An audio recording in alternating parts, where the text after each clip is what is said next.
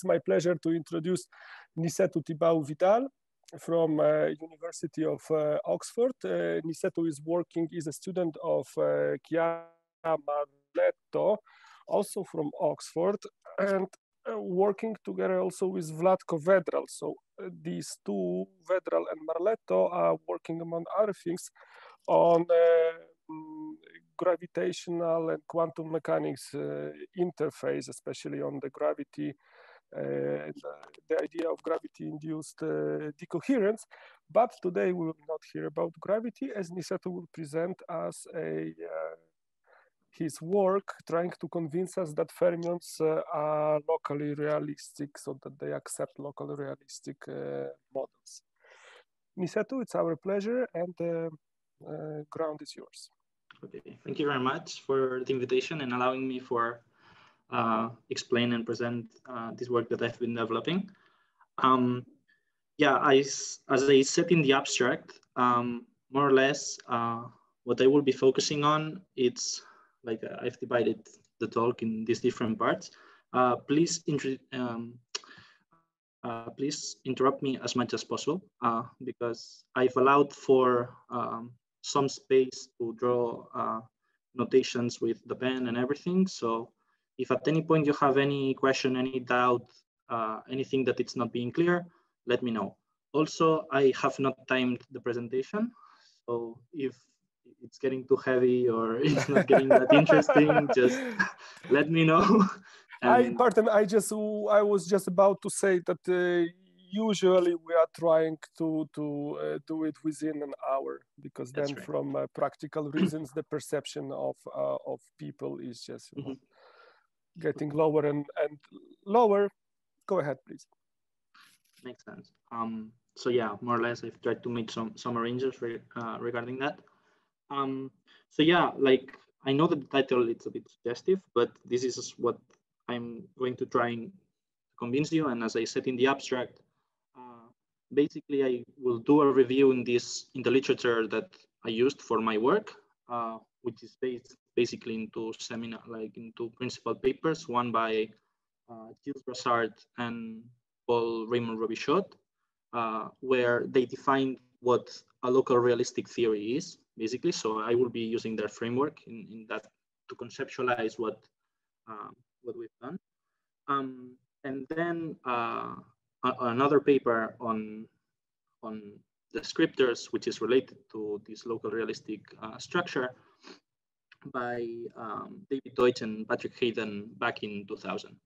So I will be trying to connect these two, like to have both uh, a mathematical perspective and a, a physical uh, perspective of, of, what I'm trying to do. Um, okay, so this will be the structure of the talk, more or less. Uh, it will be very segmented, but hopefully when we get to point three, uh, at the end of point three, everything will come together. So please mm, let me know uh, any doubt, uh, any comment at any point. Okay, okay. Uh, what is uh, like, it's very suggestive to say that fermions or the quantum physics is local, like due to the work of Bell. Uh, a lot of people, when, when I give this presentation, they think that I have not thought about Bell and these considerations. Um, one thing is Bell locality, and the other is the local uh, notions that we have. We, we, we talk at a structural level, not at the level of measurements and uh, local games or local distribution of, uh, of hidden variables. Uh, we, talk at a structural, uh, a more structural level. So let me first introduce what uh, an operational theory is. Okay, so not even local and not even realistic, so just an operational theory. Um, an operational theory in this framework by Brassard and, and, and Raymond Robichaud, um, it's, it's the following. Can you see my cursor? Yeah, yeah. Okay. So basically we have a set of states, okay? Um, and we need to understand this set of states as um, they give us the epistemological information of our system. So our system is in a configuration, okay? And uh, we have, um, it ha they have properties that we can observe, that can be observed from the outside. So it's the, I call it the epistemological properties of the system are encapsulated by some, some mathematical element that I call rho AB suggestively in, in the quantum mechanics case. I have to say that this framework is general and is not concrete to quantum mechanics, but since everybody here and we will be doing fermions, and like the first time I see it, it's better to think uh, think in terms of, uh, of quantum mechanics. Um, so we have these states and we have uh, more structure in it. So we have a notion of systems and subsystems. So this rho AB, uh, to have some projector to understand uh, what, what the information of the joint system AB, um, like what are the epistemological properties of the system regarding only the subsystem A. So we need this kind of projector to connect these different, uh, these different mathematical objects.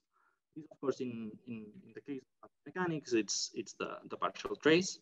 Um, we can consider like rho AB as the usual density matrices uh, that we have. Then we have uh, more structure. Uh, we have a set of operations uh, labeled uh, like you are the your operations. So suggestively, this is the unitaries in, in physics. Um, and it's basically U has a semi-group structure and uh, it has a semi-group action on this on this space. So basically, you shuffle around, you act with you to your states, and you get another state, as as we know. Um, okay, so this is an operational uh, theory. Now let me jump to what a real, uh, realistic theory is, or yeah, uh, a realistic, a real model um, is for a realist. So a realist uh, assumes that um, you not only have the epistemological properties of the system, rather that there is mathematical uh, structure or some mathematical element that describes the actual real uh, properties of the system, the, the ones that constitute the system in itself. And they do so uh, without taking into consideration what can be what can be measured of the system of or, or what cannot be measured of the system. Okay. Um, so similarly, here we have our, our, systems and our systems, and similarly the same set of uh, uh, of operations that act on on our epistemological states. Uh, they act on the real states and um, and yeah, they, they act uh, with maybe with a different action, but they have to act also in them.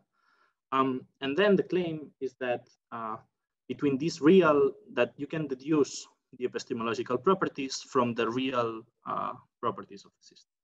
Like the constituting properties of the system give you the epistemological properties of the system. So this is in this picture uh, shown by this, that there is this mapping phi between the, the real states and the epistemological states. So one can understand that this is the shadow of this one. Um, here, uh, I have to make a consideration on, uh, there is a restriction in this mapping. So since we, uh, we, need, uh, we need it to be exhaustive, this for sure, because we want that any epistemological state has to come from a real state. Um, this for sure but we do not ask to, we, we do not demand it to be an isomorphism. Um, famously, like requiring this to be an, an isomorphism, it's called the Leibniz principle, which basically can be summarized in the following sentence, which is um, if two objects have the same epistemological properties. Like if all the properties that I can observe from two objects are exactly the same, then they are the same object. So this, in this framework, uh, would mean that uh, phi is an isomorphism. Um, in general, I would be dropping this requirement because like it's just a principle. Some people regard it as being very fundamental. I do not do so uh, because uh, dropping this principle allows you to incorporate other principles that I find uh, important in physics than this one. But this is a matter of discussion if you want. Uh, um, pardon, just a, just a comment. Maybe it's a it's very common in, in quantum foundations to adopt a sort of this Leibniz principle, but mm-hmm. then the same people forget uh, the, let's say, electromagnetism classes where they learn about electromagnetic potential, which is non-physical at all. Or people who has touched gravitation, they know that uh, uh, coordinates are non-physical, for example. So uh, it's, it's, it's not uncommon in physics. It's actually, we are trying to impose it in quantum mechanics. Mm -hmm. Okay. Yes.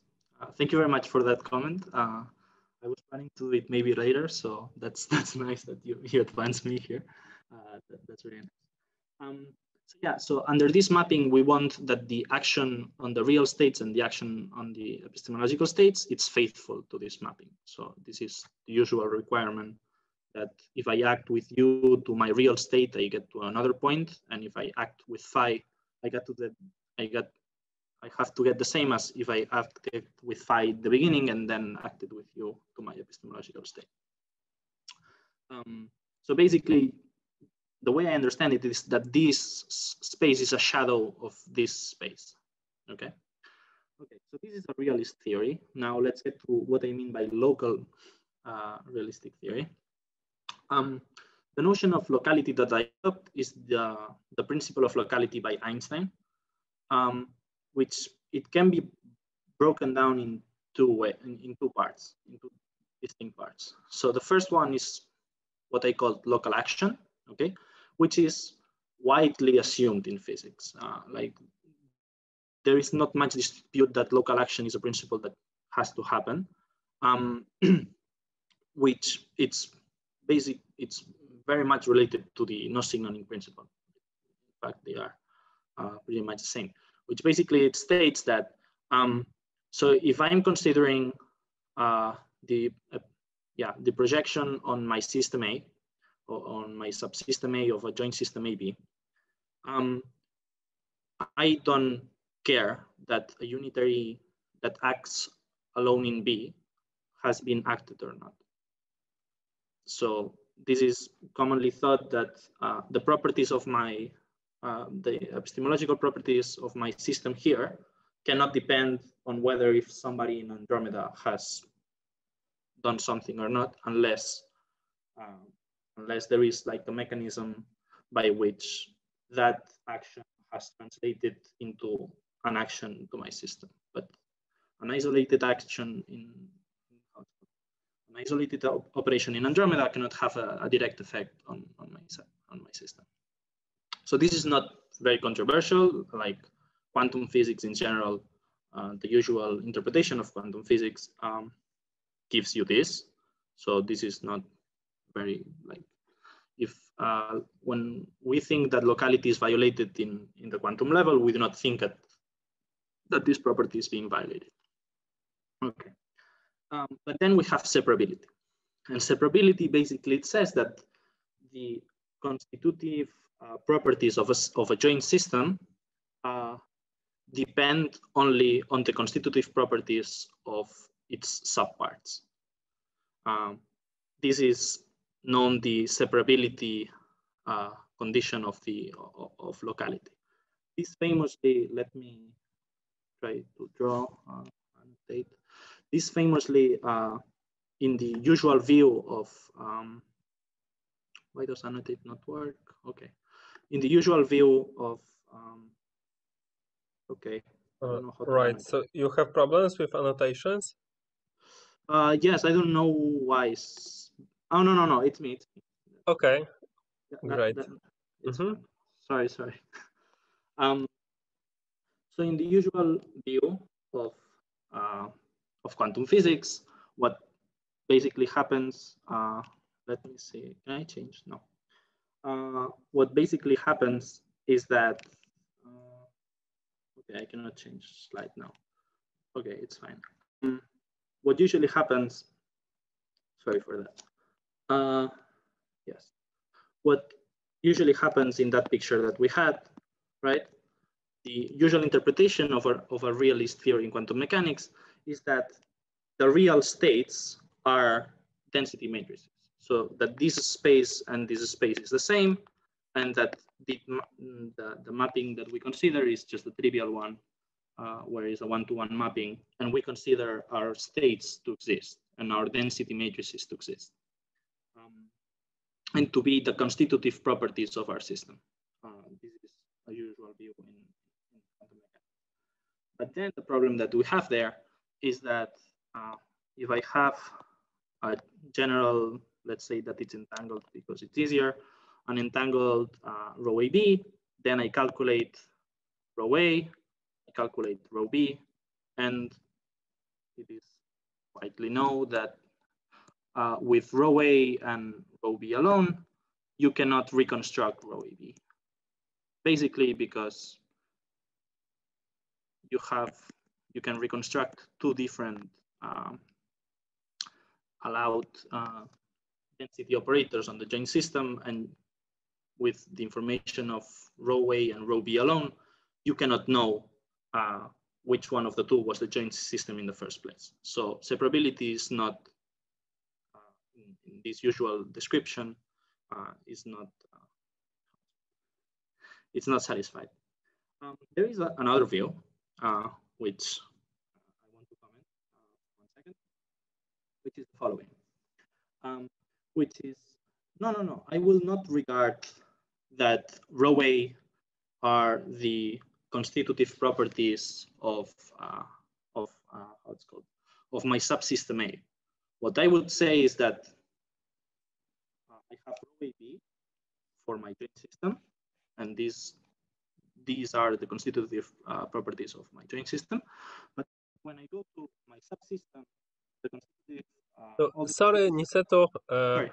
like somehow when you're uh, you face uh, your left then the sound uh, volume drops drastically. Okay so here it's better? Yes. Okay sorry. I will try not to. Um, okay yeah. So another view is that you have rho ab as your um, let's say as your real state of uh, of the joint system but you consider that the real state of the subsystem is also rho AB, but you give the information that you're in the subsystem A. Um, and, and, also and, and the same. Okay. And then of course, separability, it's perfectly reasonable because you, of course you can merge them together because you, you still have all the information here. But what now it's lacking, it's the it's the local action principle, right? Um, this is the weirdness of, of, the, of quantum mechanics because now if I act with UB here, uh, uh, sorry, with UA here, uh, I will be changing my, my state because in this in general, rho AB will change. Uh, and since this is the system, like, sorry, the state for in the subsystem B, this uh, should not happen in the uh, due to local action. Okay. Um, was this more or less clear so far? Yes. Uh, yeah, I think so. And uh, Jarek is also shaking his head uh, in agreement. So. okay, that's good. Um, okay, now let let's see if I can go out this mode. Uh, okay, Yes. Right. No. Ah, and you unfortunately need to, you know, destroy those annotations now. yeah, I don't know. I don't know what's happening really. Uh, well, okay, I think the best is to take this uh, eraser and simply erase it. I will clear oh, all. Okay. Of course, uh, unless you need them during whole presentation. Okay. Yeah. No, no, no, no. It's fine. It's fine. Sorry. Um. Yeah. Sorry. Like, I'm sorry. Like this informatics. I'm not very good. At yeah. Okay.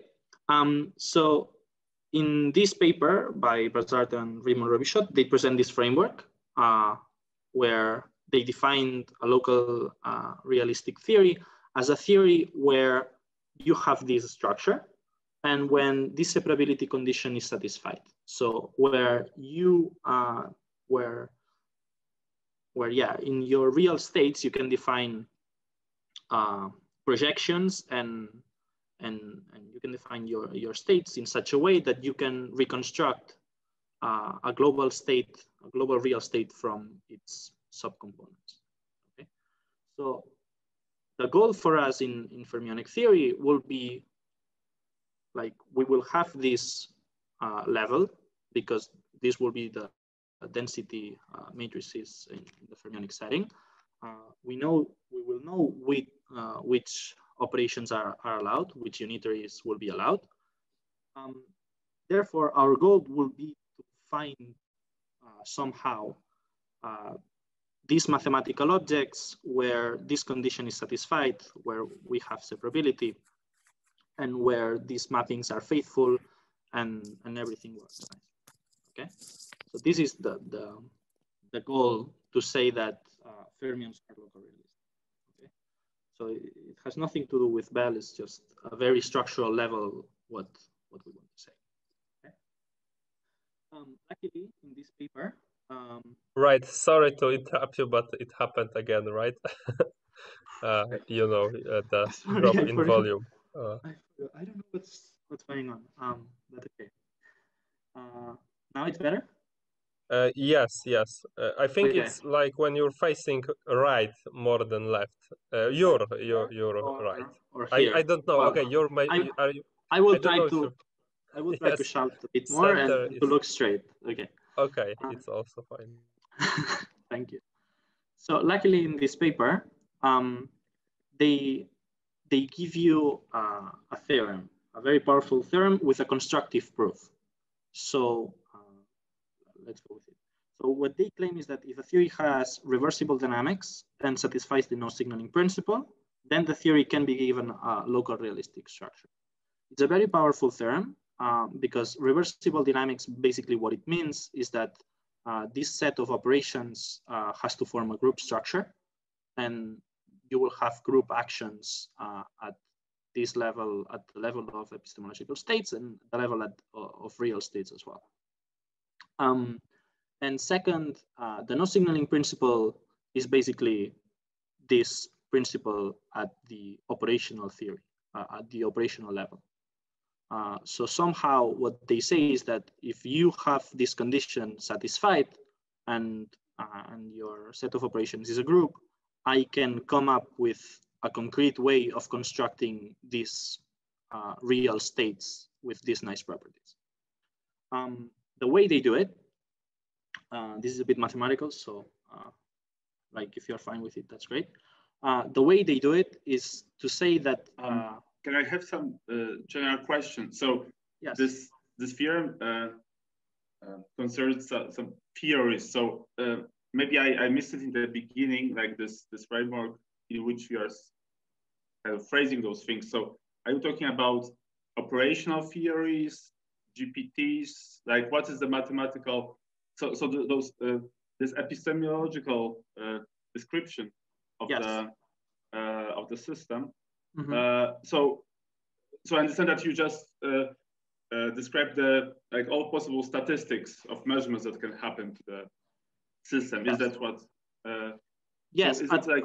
at the quantum level and at the philosophical level, this is the way I understand it. But mathematically, basically, what they require is that this uh, is a set uh, where you have this lattice uh, system, uh, where you have this uh, how it's called systems and subsystems notion with these projectors, um, and that you have a group uh, with a group action on it. Um, this, uh, this is what they call a theory, uh, an operational theory, basically, because you have the, the operations that can happen to the theory and you have the mathematical objects that are changed by the theory. Oh, but there is no notion of measurement in this, what no. you said, right? No, there is not. Aha, okay. There is not. I see. Okay.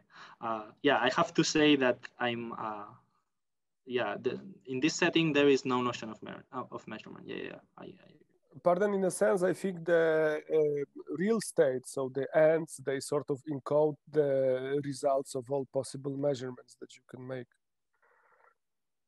Um, I think I, ultimately, they will. They will. But I think that, uh, like, even the epistemological states do, right? Uh, or maybe, yeah, yeah, yeah, yeah. But uh, I think one way of looking at the real states is uh, because otherwise, how what would be a real state? Okay, I, I will try to all possible measurements, and you collect them in one one bunch and say, okay, this is my this is my object. I just a loose remark. Yes, more or less, yes, but it's a bit stronger than that. Um, okay. I think. uh, so the constructive, I think it's this is clear. Can I move on or mm -hmm. yes? Okay, that's good. Um, the way the constructive proof they they they find to to find these real states with this uh, nice separable structure uh, is uh, to consider them consider them as equivalent classes of the uh, of the set of operations that is happening. So in quantum mechanics, uh, we will have the set of unitaries. Um, so it will be our our real states are equivalence classes on the set of unitaries that we can act our system on. Uh, the equivalence relation is this, and it's very intuitional. Uh, so pardon, so I was completely off. I completely missed it. So it's in a sense complementary. These are not the measurements, but these are the transformations that you can make. Exactly. Which basically it's the the transformations that you have done to create that state in the system. Mm, okay. Okay. I hope this makes sense. So we consider two unitaries to be equivalent uh, under a particular subsystem A. Um, if basically they are the same unitary, but you have applied a different unitary to the, to the complementary of A. So you have applied B, and then you are completely free to do any unitary you want. Uh, uh, sorry, you have applied uh, yeah, small v, uh, not, not small, you have applied v, um, and now you have all the freedom to do any unitary you want, but not inside your uh, the system or the subsystem that you are regarding. So in, this is the equivalence. Uh, it, yeah, this is the equivalence relation between the unitaries that uh, you consider, and then you take these equivalence classes, and it is proven in this paper that with this mathematical structure, um, well, with these definitions, then uh, if you have the equivalence class regarding A and you have the equivalence class regarding B, then you have the equivalence class regarding AB. So you have this nice mathematical structure and you have uh, separability. Moreover, uh, with this, you can deduce uh, by fixing some things that later I will motivate this physically. This is very the mathematical part um, you can recover uh, the, the epistemological states in, in quantum theory. Um, in distinguishable quantum mechanics, um, what I mean by distinguishable quantum mechanics is basically where your systems are uh, in tensor products. So you can think of qubits, qubits, uh, anything like this, but you have the tensor product structure. Um, you can find representatives of these equivalence classes uh, as, as being these uh, evolution matrices. So basically, you need, in order to know what is the real state uh, of a subsystem A, you need to track uh, all the operators uh, in A uh, with, with the evolution that the system has undergone. And then you have a representative of the equivalence class that represents the real state of the system. I hope this makes sense. Mm -hmm. uh, may I ask something? So, yeah, uh, do they comment on whether like this uh, on the level of this ontic real states is this necessary to be a unitary group or like uh, is there like i guess they chose it because it was natural but you also were saying before that it's uh, first requirement was there is some group which acts on this, right? And yes. Mm-hmm. So in in general, um, uh, for this structure, uh, your set of operations has to be a semi-group, uh, but but in their constructive proof, in order to be able to define this equivalence relation, um, and to make all the math consistent, uh, they have only proven uh, with when you have a group structure, but you can have any group. So mm -hmm. okay. I will comment that some things that uh, I want to work towards in the future is to consider these at the level of classical physics as well. Like in order to understand what distinguishes quantum physics and classical physics at this group level. Uh, but I hope it does make a bit of sense and later I will comment. So uh, can I ask uh, some, some yes. further things? So, uh, okay, I, I believe that under those particular definitions of what it means to be local realistic, this theorem, it, it's a theorem, so it holds, right? But what is like I'm gonna I mean maybe you you you're gonna discuss it how how it's related to like more orthodox like no notions of like how it go so it's uh, the, the, way I, I, okay even if I believe in this theorem so it's it cannot be then used to even if I have a so-called realistic model for distinguishable quantum mechanics as you said uh, like of distinguishable particles I cannot use it to have sample like I uh, to to disprove Bell theorem. I cannot, right? no, no, no, no, no. Like Bell theorem, like the only like Bell theorem, the same way as this is a theorem, it's also a theorem, right? So the only way to disprove Bell theorem is to attack the assumptions that Bell is is making or sure, the sure. axioms, right? Um, yeah. So maybe let me rephrase. So what is the um, uh, uh, how this uh, local realistic structure manifests in this more like quantum setting, manifests onto constraints on possible measurement outcomes, or like does have any? I understand. Mm-hmm. Yeah, uh, connection to something that's you know uh, we are more used to. In in terms of measurement outcomes, I don't.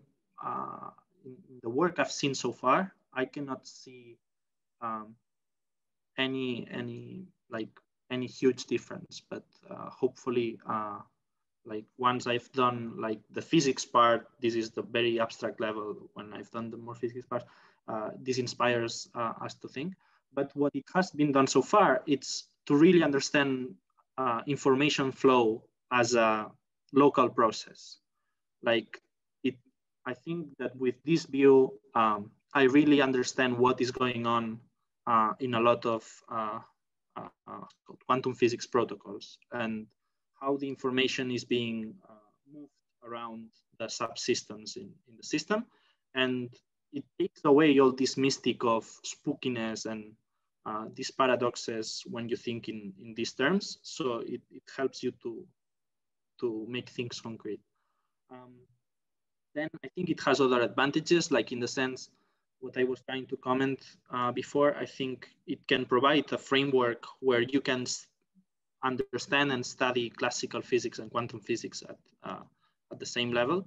So I think that is quite uh, uh important. And also it gives you, it's much more general than quantum physics, right? Like uh, I really believe it's a really good definition of what local realistic theory uh, means because all the steps are, I think, philosophically very well justified.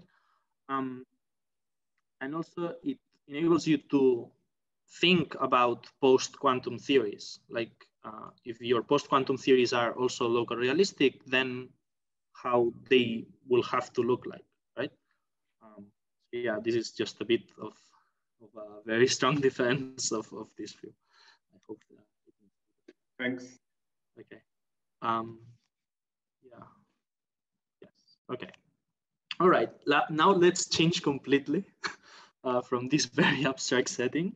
Uh, and let's focus on, on the work that we've developed uh, in, the, in the last months, uh, which is regarding uh, basically fermionic quantum information. Uh, so first, let me give a brief definition of what fermions are. Um, basically, the way I understand fermions is that they are quantum systems. So you have an algebra of operators in order to generate that algebra, you need several things. First, you need a set of modes. The way the, I understand this, it's uh, lattice sites where you can create your fermions. Uh, some people tend to think as modes uh, as being the different momentum values that you can give to your fermion due to the usual expansion. But I, since we are talking about locality, it makes more sense for me to think them as uh, positions rather than momentums. So it's at which lattice sites I can create my, my um, so basically you have creation and annihilation operators, uh, but that they anti-commute. Um, so they anti-commute with one another. Um, and yeah, and this is the usual definition of, of fermions. And you have a vacuum state where basically you interpret it as there are no fermions there. Um, and the annihilation operators just completely kill the vacuum state. Okay. Uh, there is a usual discussion in uh, fermionic quantum information or fermionic systems uh, in general, which is uh, how to consider your subsystems. Uh, if either you consider your modes as your elementary subsystems, or if you try to come up with some definition of what is a particle and regarding particles are as the subsystems of, of your system. Here I, I work with modes basically for, for uh, two main reasons because um, uh, I come from a bit from the QFT side. So for me, it's much more natural to regard as more fundamental modes than particles um, because you can explain mm, more, I think. And also they have a nice product. Like uh, distinguishable quantum mechanics, we had the, the tensor product. Uh, and with modes, you can define this product that is antisymmetric uh, in this simple way. Um, yeah, but the only peculiarity is that it anti-commutes at, at, at, the state level. Um, okay, then you, what you do in fermionic quantum information, this, I, I am writing a paper on this uh, the last four years. Hopefully it will be out soon. So, uh, yeah. Um, you can create your Fock basis. Here I've uh, rearranged it in a particular way because uh, reasons that will follow soon. Um, you have first the even states. So basically here you have zero particles, here you have two particles, one in the first mode, one in the second mode.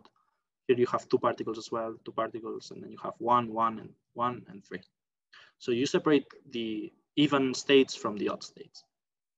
Okay, then fermions have this peculiarity. Fermions are a bit more weird quantum systems. This is how uh, my supervisor Chiara thinks about them, um, is that you, need an extra rule, which is the parity superselection rule.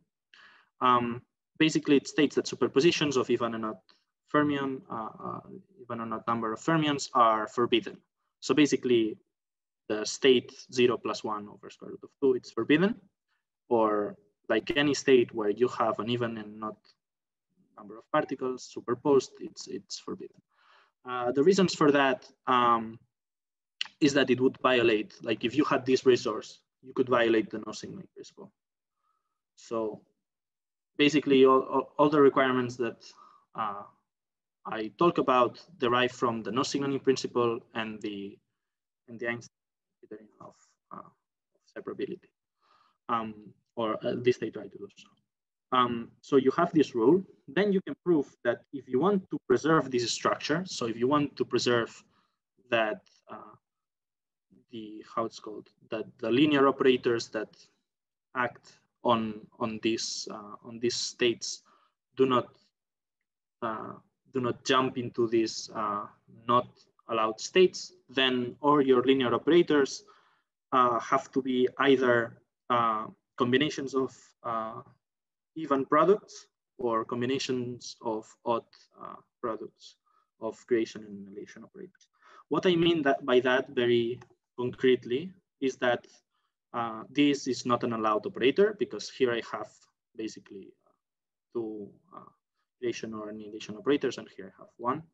So basically the linear operators that are allowed in my in my my fermionic setting are are for example f1 plus f1 dagger or f1 f1 dagger plus f2 dagger. Things like this where the parity is the same, but you cannot have f1 plus yeah f2 f1. Like you cannot have this. I hope this makes sense. Um, if yeah, okay, if you want that I focus more on this part, uh, maybe I should. I don't know how I'm doing with time. Um, okay. Right. I mean, uh, yeah, yes. So it's uh, already been 45 minutes, but Yeah. we started a little bit later, right? And Okay. we're not I'm not doing with anything. So Okay. yeah. All right. Um, then you can extend this theorem uh, using also the no signaling principle.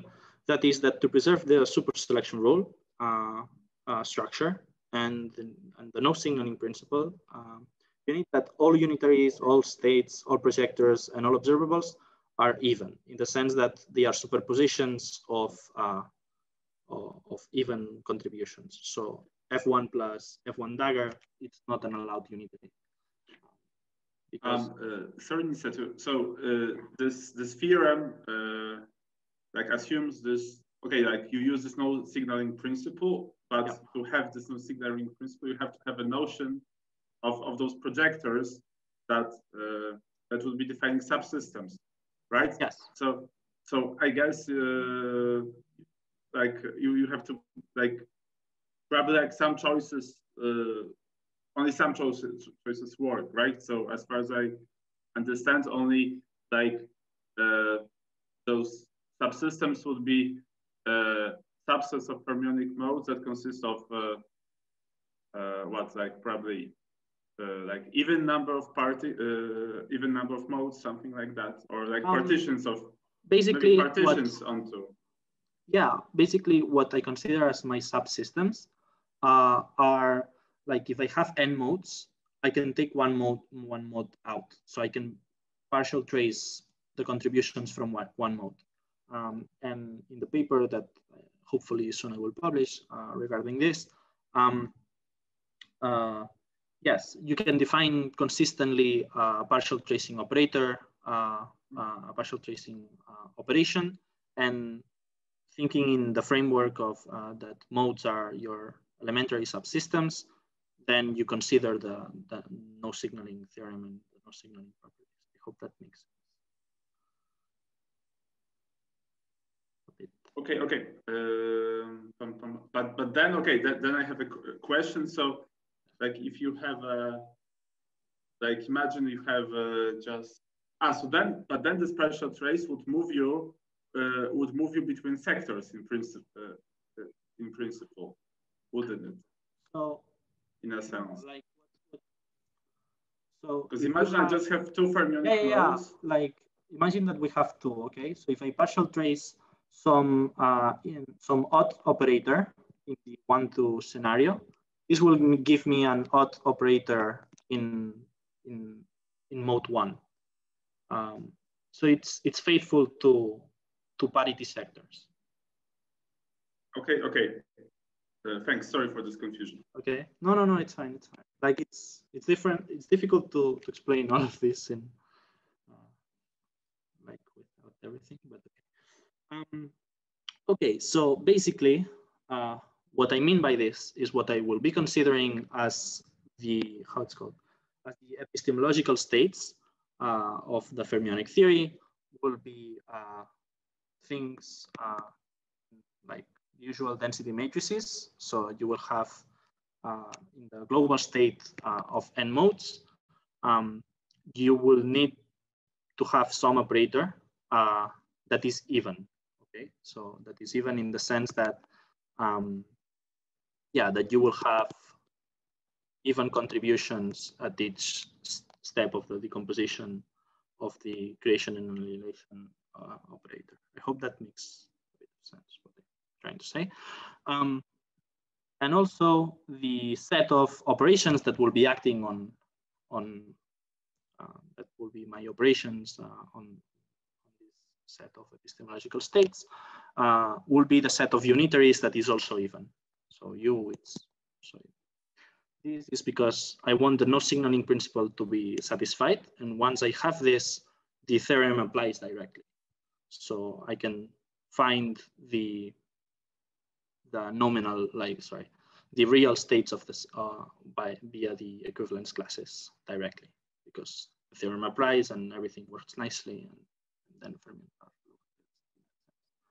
Okay, but uh, I'm sorry that I'm a bit off time, but I will try to explain uh, the, the, more physical perspective of this, because the, the, the paper that um, I was explaining to you in the beginning was in 2017, but similar work was done by Deutsch and Patrick Hayden uh, in 2000. So the, like long time has elapsed in order to really comprehend this and, uh, and put it in a, in a systematic, uh, systematic way. So they came from more the quantum information uh, setting. So I hope this will make more sense. Um, so basically what they did was to work in the Heisenberg picture because they uh, basically said that observations in quantum mechanics are given by, by this object. And usually the way that we understand this is that we have an initial state, we evolve this initial state with a unitary U, and then we, we, we take the expected value of, of the fixed operator O. So the Schrodinger picture, uh, observables are fixed and the, the, the ket evolves. I don't want to say the word state too much, so I will say the cat evolves. Um, but then you have the Heisenberg picture, which is used and it's said to be compatible with the Schrodinger picture, where you consider the cat to be fixed, uh, but are the observables the one the ones that evolve in, in this dual way, let's call it.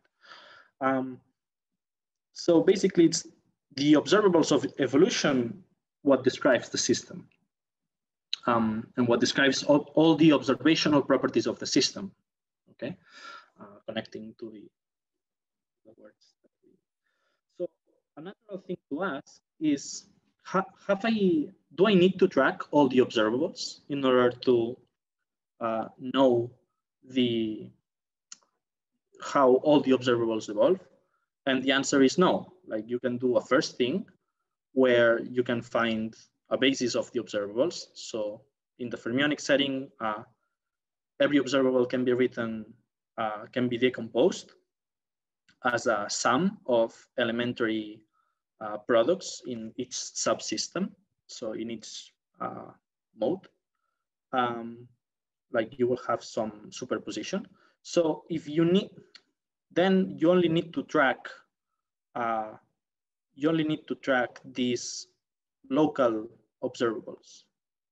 Does it make sense what I'm trying to say? So yeah. Which observables are local? Local, you mean like the individual node? Then? Yes, okay. yes, local in regards uh, that they are generated only by the creation and annihilation operators of the specific mode like uh, algebraically local. This is what I, I'm trying to say. Um, okay, so, and, and for, for this, you can further reduce that because uh, since the, this, uh, this set of operators are products and uh, yeah, basically they are products of uh, creation and annihilation operators. Um, you see that any product of creation and annihilation operator, if you know how the creation uh, and annihilation operator works, you know how every product evolves, right? Once you know the decomposition, does it make sense? Um, yes, yes, yes. and not only that, you only need the annihilation operator because if you know how the annihilation operator uh, works, you just take the dagger and then you know how the creation operator uh, evolves. So in this sense, you only need to know uh, how the creation or the annihilation operators evolve uh, to know how any observable evolves. Therefore, um, you only need to know how this creation, uh, they are annihilation, how these annihilation operators uh, evolve in order to know uh, the evolution of, of any system well, system, okay? Um, these quantities are what Deutsch and Hayden uh, called descriptors, uh, and these are fermionic descriptors. Um, for qubits, that is what they did. Uh, they did the same analysis uh, more or less. Um, and for, for qubits, you can do exactly the same decomposition. But uh, then when you take, uh, when you see what are the generators of the individual qubit algebra, they chose X, the, the X and Z gate. Because with X and Z, you can create uh, the identity X, Z, and Y, and with the identity X, Z, and Y, you can uh, like you can generate any uh, with a linear combination, you can generate any qubit uh, operator. Uh, I'm sorry if I'm going fast. No, it's. Uh, I think it's cool, but I, I didn't get one thing. okay. So I mean, okay. Um, okay, as you can imagine, I actually come from like there are like very different like approaches to this like non-locality, like mm -hmm. uh, locality of fermions, yeah. right? So like okay, but I'm, I'm trying to adapt your point of view still.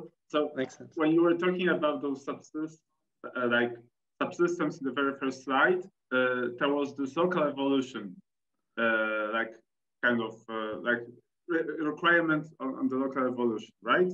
Yeah.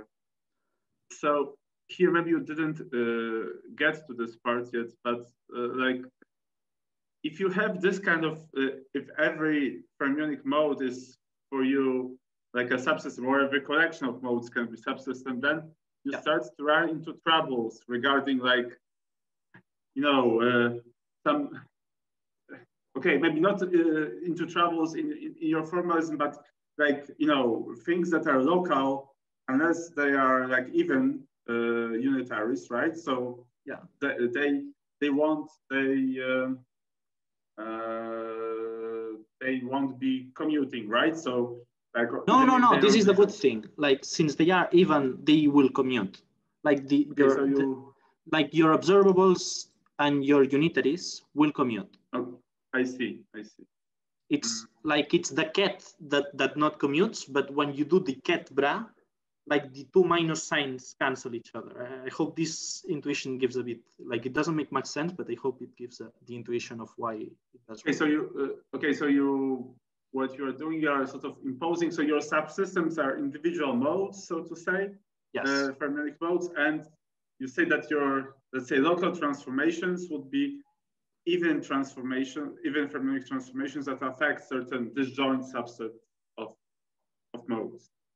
That yes, yes, or okay. even like or, or, single ones. But yes, yes. Right, right. Uh, okay, thanks. Okay, okay. Hope it makes sense. Um, so yeah, for for for qubits, uh, like Deutsch and Hayden chose this basis basically, but this is the same as like tracking these quantities is equivalent to tracking this quantity, right? Because it's tracking uh, all the all the how it's called uh, all the possible all the possible uh, local operators on on a single qubit, and you can track this quantity, or you can find a different basis for your uh, linear operator uh, set. Um, and this is the other natural basis to, to find. But if we, if you remember, um, this is exactly, this is exactly what uh, the, what, uh, sorry, this is exactly what we had here uh, in, in, in the Raymond-Robichaud uh, model, where this was the representation of the equivalence class. So by having found uh, these uh, descriptors. Uh, pardon, I have I have a question to this yes. to this formula, if I may, Niceto. So you have a collection here in this qubit example. You have a collection of qubits, Mm -hmm. and uh, J is the number of uh, of qubit, right? Is a qubit subspace where your yes. KL projector works.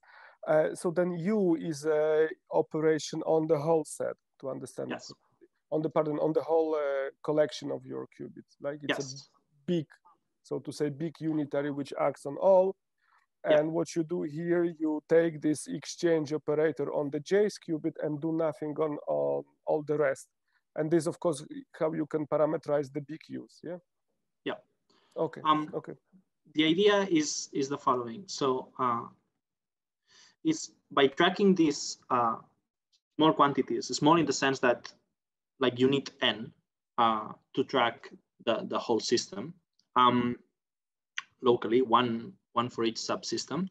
Um, but what usually confuses people is that even though I start with the local element, elements of my algebra in the sense that, so um, usually let, us say I have one qubit, okay, let's do it with qubits. Um, I want to track this evolution, but this does not mean that this will be, let, us say that this is one. Um, this does not mean that under any general unitary evolution, this will be a recombination of x1 and z1. Like this can be x1, z2, um, and z1, x2, or something like that.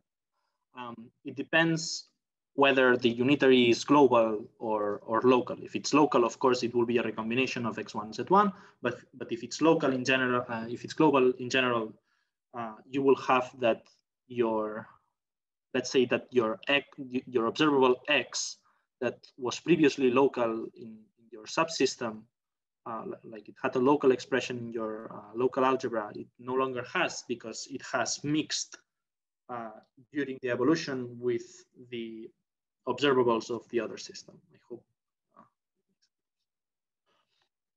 Uh, um, but yeah, the main point, okay,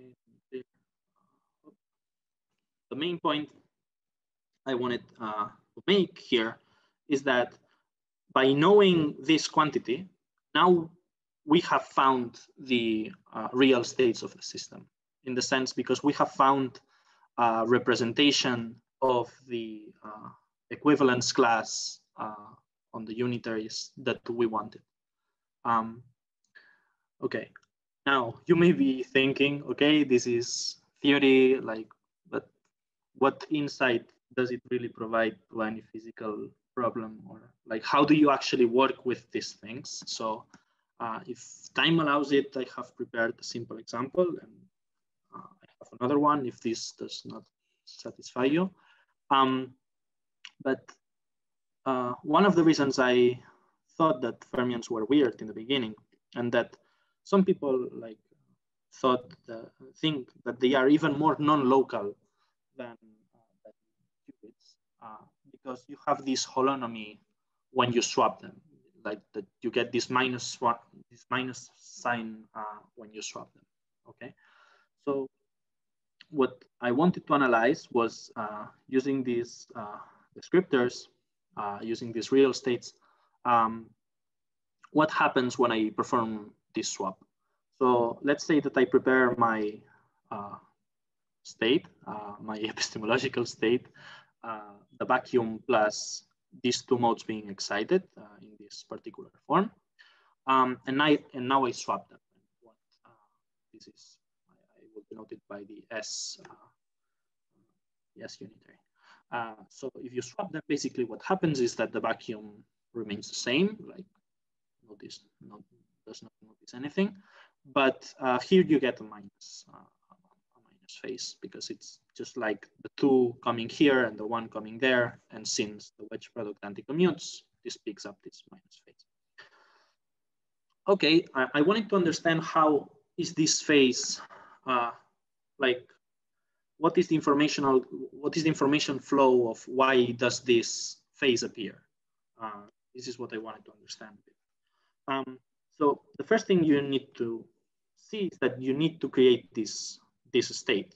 Uh, because what I forgot to say is that in the Heisenberg picture, you need to fix uh, your initial state and then your observables follow.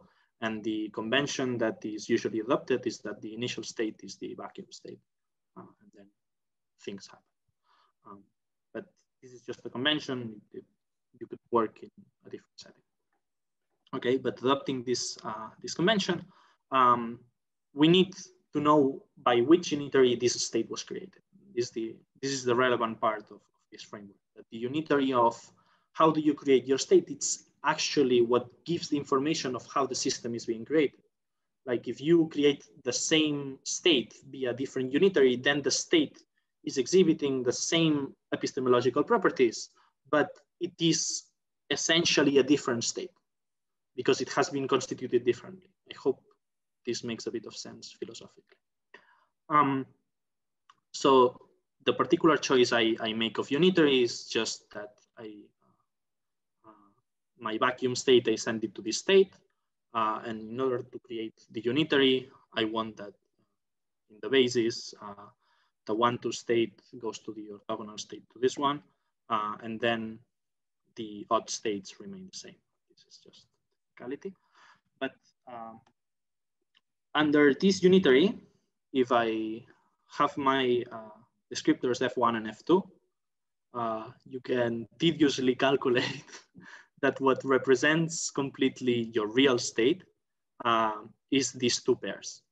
And you can observe already a thing, that there is an asymmetry between the two.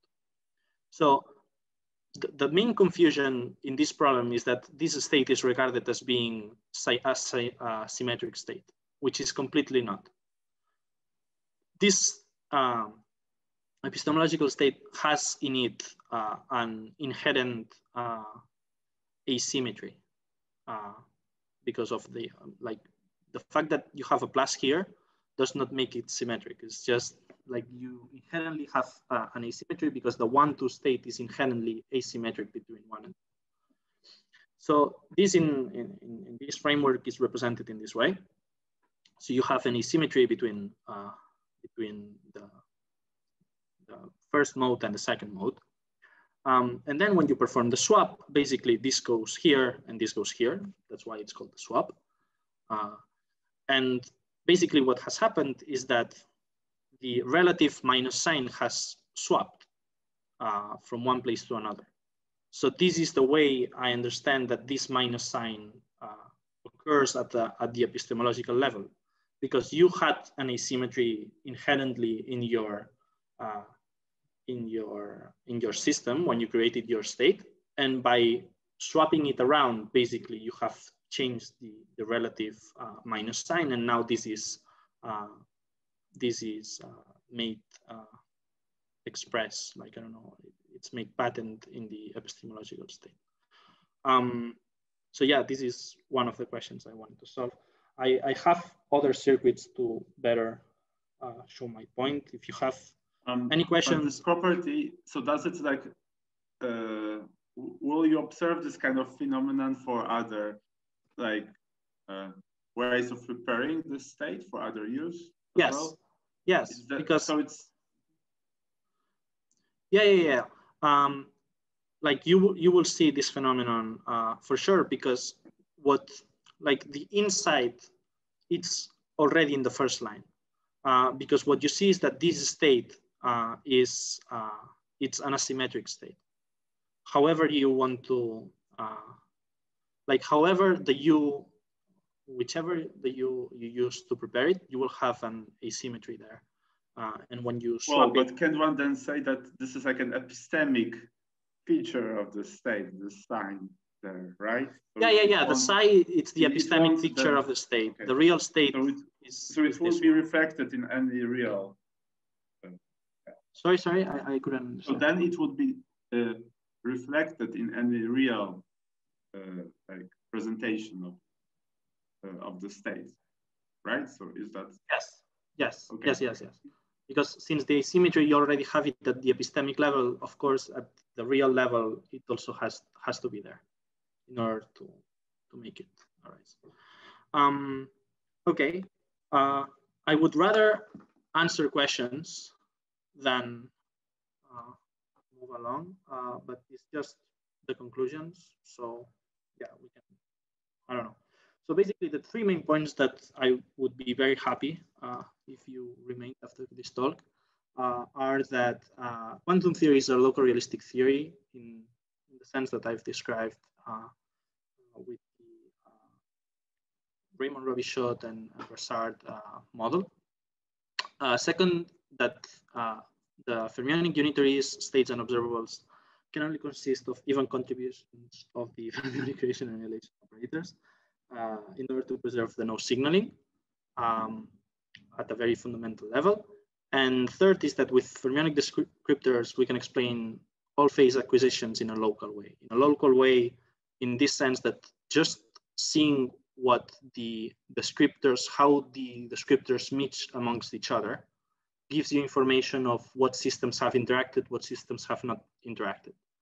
Um, yeah, so then the next steps uh, that I want to take my research, uh, uh, I would like to give a full description of QFT in terms of descriptors, uh, particularly explain the AB effect being a completely uh, local phenomenon. Uh, Chiara and Vlatko are very interested in that. Um, we have done the first step doing that in a paper that uh, the arXiv. So if you want to have a look, uh, if you want to send comments, uh, feel free to do so. Um, second, yeah, I, am interested in work in finding descriptors for also topological quantum theories.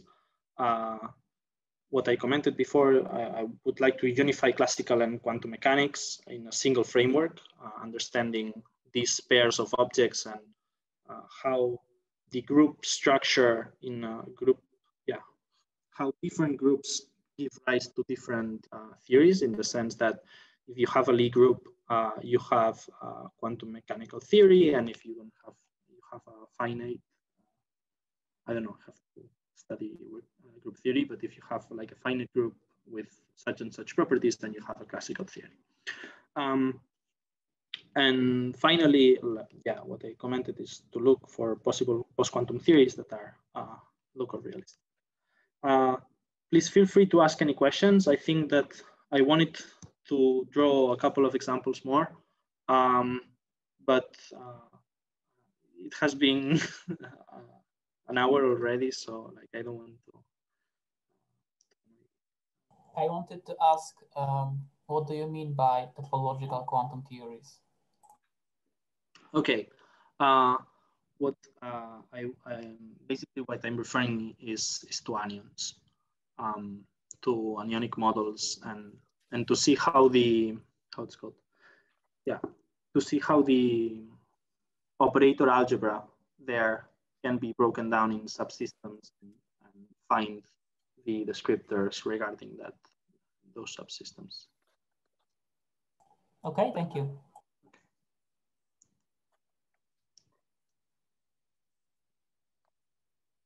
Okay, so um, I have a question. Are you familiar with um, uh, Gelfand-Naimark-Segal construction? Uh, no. No, okay. Then I will uh, if I may, I will send you maybe a couple of um, of things. Yes, it is possible. Uh, it is possible via this Gelfand-Naimark-Segal construction. Uh, it is possible to view states exactly like uh, you were saying, so sort of an equivalence classes of, uh, maybe not equivalence classes, but it, it is possible to construct states, mm-hmm. including quantum uh, density matrices from group theory. Okay your group theory, which you interpret uh, as a group of uh, allowed transformations, just like you had from the start. And then there is a very powerful uh, mathematical construction, which is called this Gelfand uh, Naimark Segal construction, mm-hmm. which allows you to um, construct states. Actually, okay. not only states, but it allows you to construct also a group representation it's a uh, one of the fundamental tools in uh, in uh, group theory but in quantum information we also use it without actually um, appreciating it when we talk about purification when we have a density matrix and then we, we go to a higher dimensional space and purify density matrix, then in fact we are using, and this is an echo of, uh, of uh, GNS construction. So it might be perhaps of some interest for you since you rely here on, uh, mm, on group theory and understood as a uh, uh, allowable transformations on your, uh, on your system. Mm-hmm. I mean, what, what I can what I can do, for example, you give me a group which you call a group of your transformation, and I construct your states. That's right. That's right. That's right. That's right. Yeah, yeah, yeah. I'm I'm very interested uh, with it. Uh, so yeah, like if, if, if you have some references, I'm sure, sure, sure, sure. Sure, you, you might find it interesting. Yeah, that's great.